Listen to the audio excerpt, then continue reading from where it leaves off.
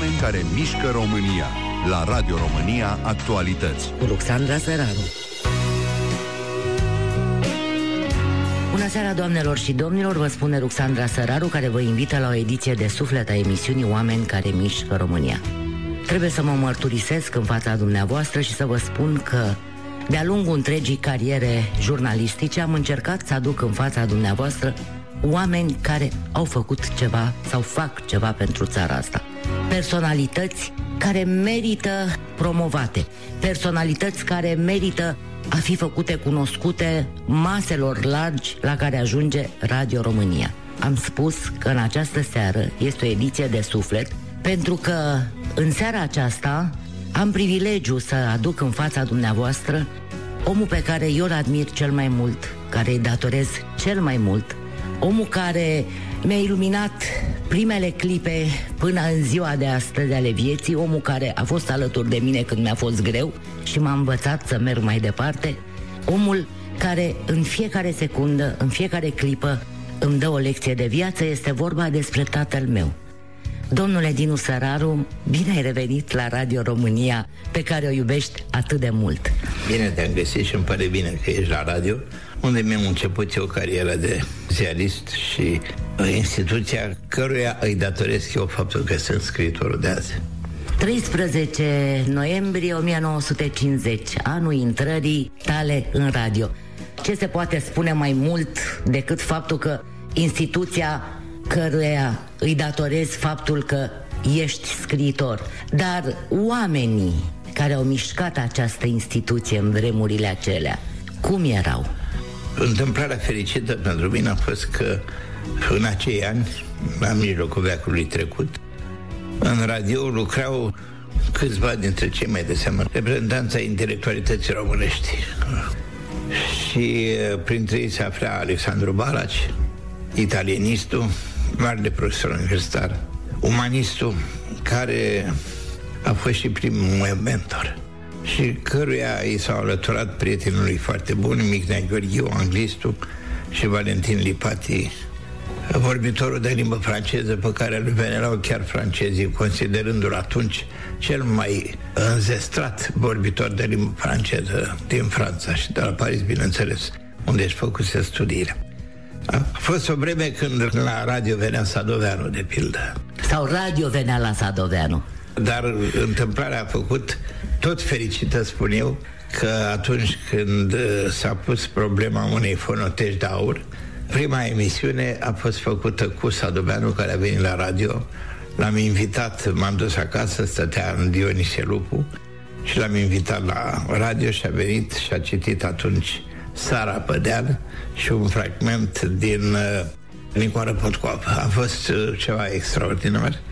A fost o lecție pentru mine și de autoritate scritoricească și de apărător al drepturilor de autor. Îmi amintesc că leafa mea era atunci de în jur de 450 de lei pe lună și el pe o emisiune de 15 minute a primit 1500 de lei. Și uh, am înțeles că nu era vorba de cât de pofticios sau de lacum era el de bani, cât de mult știa el să fie prețuit un scriitor în țara românească și i-a apărat atunci pe scriitori, pentru că era unul din mari purtători ai condei din vreme și uh, era și vicepreședinte al țării și era o autoritate supremă din toate punctele de vedere. Și comportamentul lui general era unui senior al unui uh, pisc al culturii. Să știa sau el singur știa cine este. Și era un model și mi-a fost un model. M-am uitat la el cu admirație extraordinară. Îmi amintesc că ne era foarte greu să ne dezlipim buzele să vorbim în fața lui. Atât era de impulător, atât era de autoritar, atât vorbea de rar, de puțin, atât de mult stăruia cu privirile deasupra capetele noastre, ea și foarte înalt. Și uh, părea puternic, să mișca exact ca o lume întreagă. Odată cu el se mișca o lume întreagă. E creator de limba românească în paralel cu limba vorbită limba cărților, romanelor lor istorice, nu se vorbea pe stradă și totuși era o limbă pe care o înțelegea toată lumea și pe care te făcea să crezi că ești cu 400 de ani în urmă. Era limba cazanilor, era scriitorul în toată puterea cuvântului. L-am cunoscut după aceea pe Camil Petrescu, l-am cunoscut pe Cezar Petrescu, l-am cunoscut pe Ionel Teodoreanu, am făcut interviuri cu ei. Uh, mi-a fost drag de ei, erau personalități puternice, aveau o autoritate inconfundabilă. Cum să vă spun, uh, am trăit în lumea scritoricească o viață N-am întâlnit de atunci, cu excepția lui Sancu și a lui Eugen Barbu, Petru Dumitriu, de asemenea personalități atât de puternice. A fost o școală bună pentru mine, pentru că ei nu erau numai mari scriitori, dar ei erau și mari oameni ai cetății. Cuvântul lor era hotărător, prezența lor în orice împrejurare era atât de puternică și de reverberatoare de gândire, de autoritate, de profunzime, de decizie, de verticalitate. Să știți că s-a vorbit urât despre unii dintre ei. N-au fost niciodată cocoșați în fața regimului lor. Întotdeauna au înțeles interesele țării și au știut ce să facă pentru ca să-și slujească țara. Și erau demni, și erau frumoși, și erau uh, mari. Intrați în istoria literaturii cum l-am cunoscut de pildă pe Călinescu foarte bine pe George Carinescu, era o autoritate, era un tribun, pentru că era și deputat și vorbea dumnezeiește în Parlament. Noi n-am știut în mulți ani de la Revoluție încoace să prețuim măreția lor, autoritatea lor, puterea lor de a influența opinia publică, conștiința vocațiilor de a fi purtători de cuvânt și purtători de opinie și apărătora intereselor limbii române, că limba română era țara întreagă. Să vorbea dumnezeiește la radio, să știți. Și uh, se dădea ora exactă la radio și acum se mai dă ora exactă. Dar atunci era o lege fundamentală, ora exactă la radio însemna și adevărul. Însemna și știrea făcută cu cap, cu chipzuință. Era un profesor angajat special Nicolae Mihescu, a cărui soție, doamna Mihescu, mama Mihescu era crainică, ca și fica, una din fiicele lui Sadoveanu, era crainică la radio și am avut bucuria să-mi citească cronicile teatrale la radio, doamna Ana Mihescu. Și soțul ei, profesorul Nicolae Mihescu, tatăl marului grafician Eugen Mihescu, era, cum să spun, profesorul nostru de limbă română și de vorbire românească era de o severitate extraordinară și trecea din redacție în redacție. Nu puteai ajunge la microfon fără să fi trecut pe școala lui Mihescu, care era o școală extraordinar de grea și de exigentă și de impunătoare. Nu se întâmpla vreun dezacord gramatical la radio, vreun dezacord cu știința de carte, pentru că nu puteai rămâne acolo fără școală, fără Cum se vede fără... astăzi radio? este poate singura instituție de presă în care lumea mai poate avea încredere și la care poate să afle o știre netrunchiată de manipulări și de interese. Dar era mult mai puternic atunci, însă nu pot să nu recunosc cu mândrie pentru mine, care am fost uh, elevul acestei școli de radio, că radio a rămas încă un organism de presă care dacă are autoritate o are pentru că știe să dea ora exactă sau atunci când știe dă ora exactă și o dă bine. Foarte tânăr sau mai matur, Eminescu era obsedat de geneza poporului român. Tradiția poate fi uitată, dar ucisă nu. Dacă îi se taie drumul în clasă e de sus, iar rămâne să se adâncește tot mai mult în cele de jos. Nu știu alții cum sunt, dar eu, când mă gândesc la locul nașterii mele, la casa părintească din Humulești, la stă... După ce rămase încă multă vreme absent, ca și când ar fi fost pe gânduri, Negelioglu răspunse încet și scăzut. A fi sau a nu fi? Aceasta e întrebarea. Oameni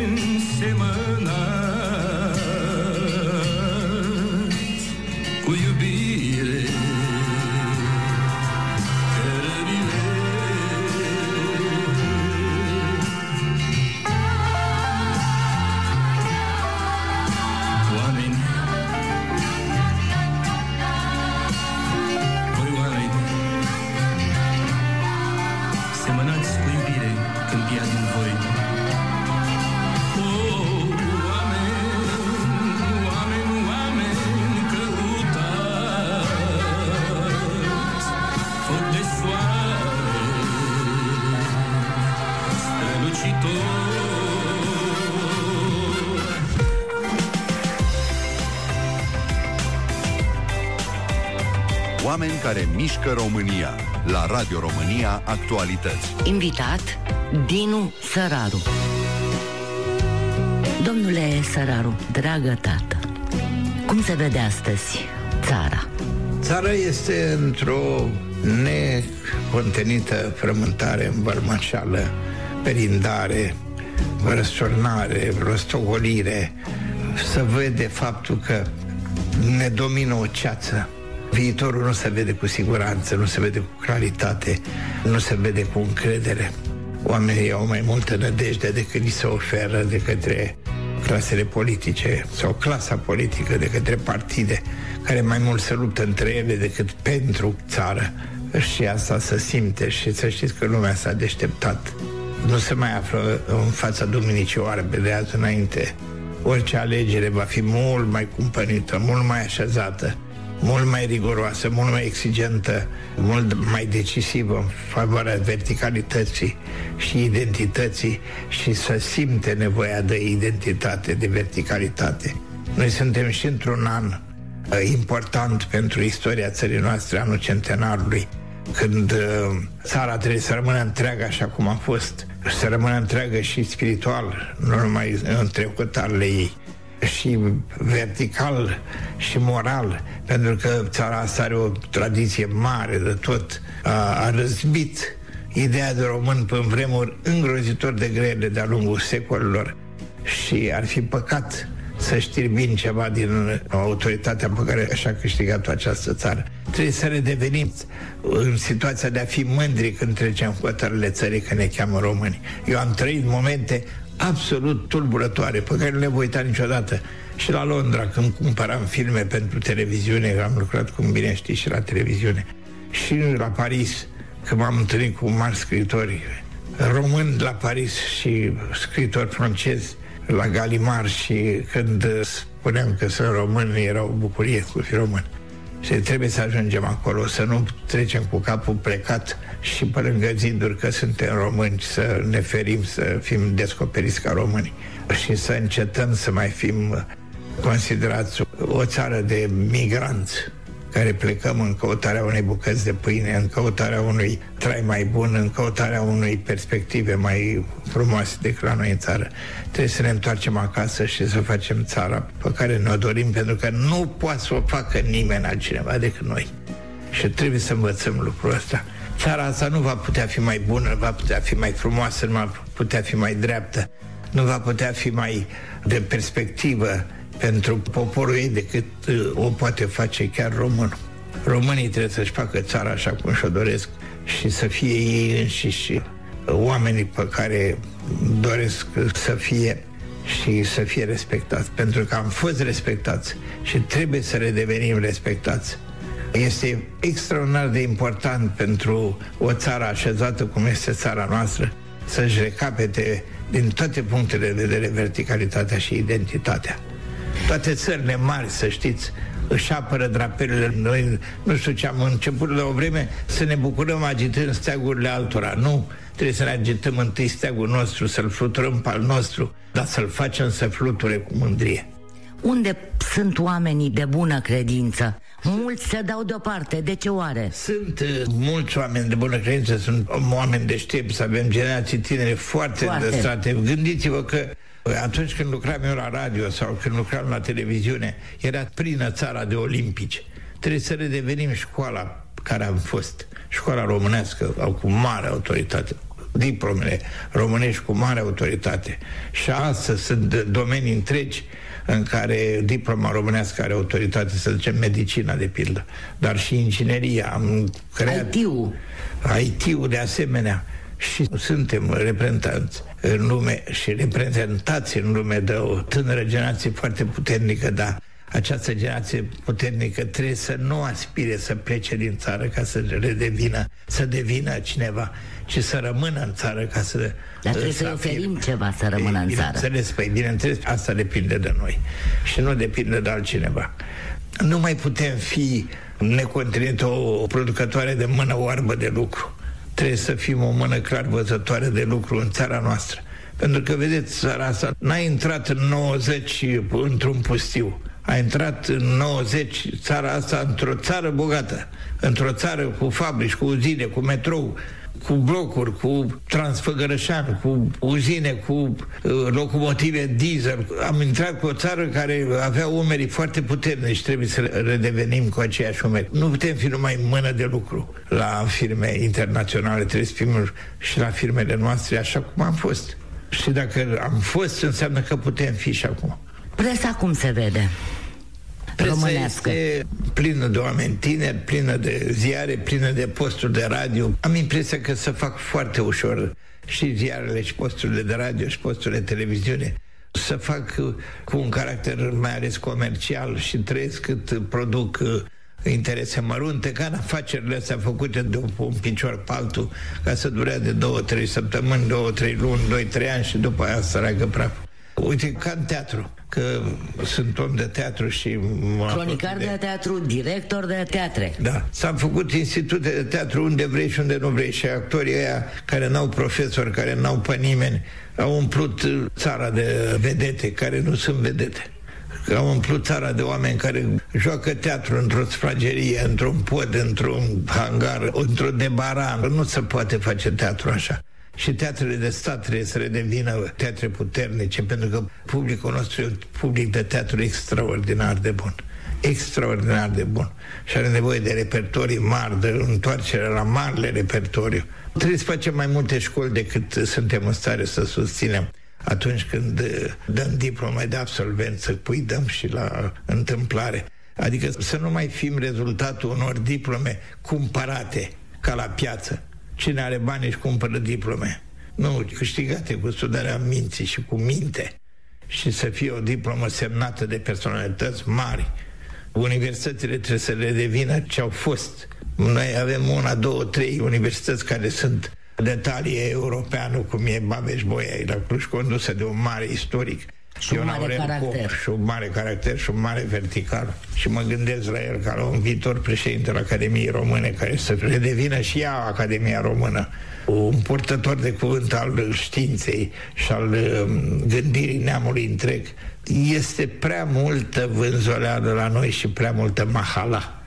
Asta este drama, s-a lățit Mahalaua din calea victoriei până în ultimele, dar nu Mahalaua aia frumoasă. Aia frumoasă, cu parfum Cu- și cu și liliac. cu romantism. Nu, nu, Mahalaua proastă aia și care inundă Sordidă și canalele și de imundă. televiziune și inundă și posturile de radio locale. Ascult și eu că sunt și în Oltenia posturi de radio, dar să știți că veni vorba de radio, postul de radio Craiova este un post foarte bun de radio și eu când Așa ajung la este. Sfătioara îl ascult cu mare plăcere și am fost onorat multă vreme să fiu colaborator al postului de radio Craiova și reușisem să am o emisiune de câteva minute care era iubită, îndrăgită. Ați avut un președinte la radio care n-a știut să-și apere colaboratorii. Erau mulți atunci care alături de mine erau la radio Craiova pe care el i-a pierdut pe drum, după părerea mea. El ne-a pierdut pe mulți pe Nu știu, drum. nu fac aprecieri la nivelul ăsta, dar în orice caz e un post de radio foarte bun și cum este și postul de radio Iași.